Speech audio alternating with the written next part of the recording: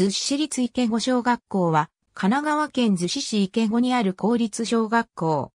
1960年代以降の高度経済成長に伴い、逗子においても山田市政の下で従来の別荘地といったイメージから大都市のベッドタウン化を推進したため人口が急増していった。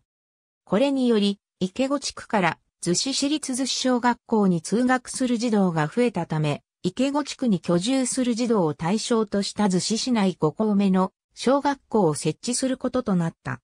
1974年の開校時の児童数は544名であり、1981年のピーク時には821名の児童が通学したが、逗子市の少子化により近年の児童数は260名前後となっている。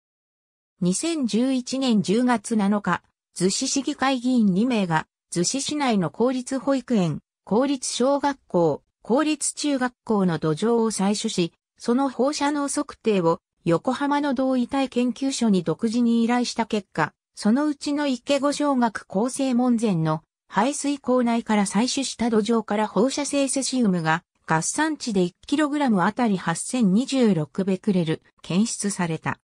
セシウムが検出されたことを受けて、上記の市議会議員が逗子市に通報し、逗子市は10月20日に調査に当たった。市議から通報のあった土壌を土壌からの距離5センチメートルで3回計測したところ、いずれの計測値も毎時0.11ミューシーベルトと問題のある数値は検出されなかったが、当該土壌は念のために除去された。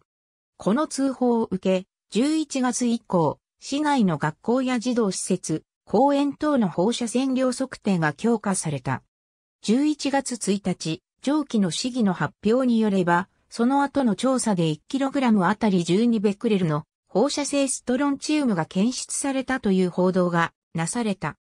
なお、逗子市が文部科学省健康相談ホットラインに問い合わせをしたところ、1kg あたり12ベクレルという数値は非常に低い値であり、特に対応の必要はないとのことである。ありがとうございます。